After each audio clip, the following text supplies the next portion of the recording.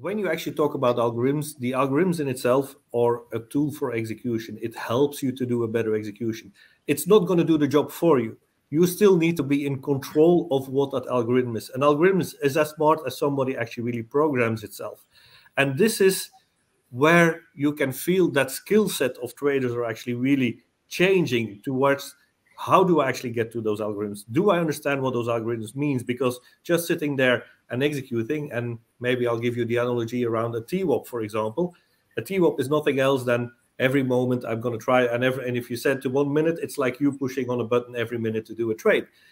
But you shouldn't be doing this. This is what an algo can do. But it's a very simple way how you actually look to an algo but in essence that's where the key sits. It's making sure you understand what that algorithm is how you work with it mm-hmm. and where the value sits for that algorithm for you. Because there are so many algos there. What do you choose at which moment? This is for you to decide where it actually sits and that still sits with the human.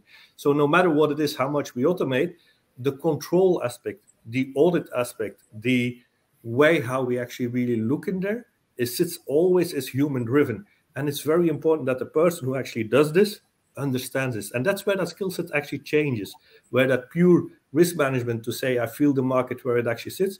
You know what? Models, trading models in the at this moment can already start to feel what the market is, where it sits in normal conditions. It's when there is something abnormal happening that suddenly a model goes wrong. That's where the human comes back in. But understanding where it sits, where you want to take that position, what sits into it, that sits with the person. And that's so important that you understand that data, which is actually overwhelming you from every side, you understand and find your way into it.